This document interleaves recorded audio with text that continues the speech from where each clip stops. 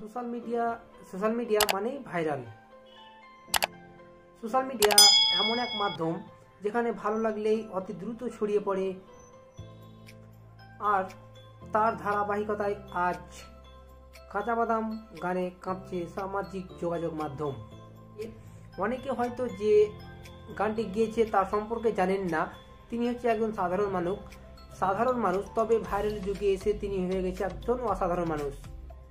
গানটি যে গিয়ে ভাইরাল হয়েছেন, তার নাম হচ্ছে ভুবন বাদ্যকর।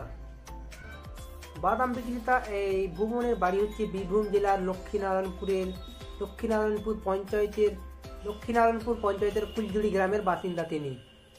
ঝাড়খণ্ড থেকে বাংলার বিভিন্ন গ্রামে গ্রামে তিনি বাদাম বিক্রি করে এবং তার বাদাম বিক্রি হয় না বলে সে একটা গান গায় এবং সেই গান আজ সোশ্যাল মিডিয়ায় ভাইরাল সে ভাবতেও পারেনি যে আমি এইভাবে এত ভাইরাল হয়ে যাব এবং সে একটা দরিদ্র মানুষ বাদাম বিক্রি করে তার পরিবার চালায়। এই জন্য তার পরিচয় করব আজ এই পর্যন্তই। দেখা হবে নেক্সট ভিডিওতে ততক্ষণে সুস্থ থাকবেন, ভালো থাকবেন। Good bye